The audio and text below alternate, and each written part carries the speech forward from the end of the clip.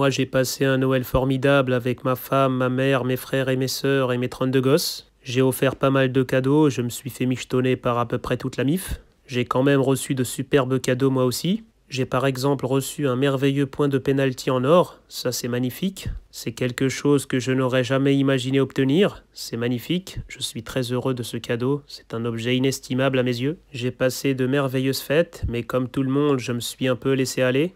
J'ai mangé un demi-chocobon et ensuite j'ai fait 14 000 pompes pour rattraper le coup. À un moment donné, je me suis laissé aller en buvant 5 centilitres de Coca-Cola. À ce moment-là, je ne pouvais plus me regarder dans la glace. À ce moment-là, je me suis dit Cristiano, ce n'est pas toi. Ce n'est pas toi la légende que tout le monde connaît. Après avoir bu ces 5 centilitres de coca, je ne pouvais pas me permettre de dormir comme un être humain lambda.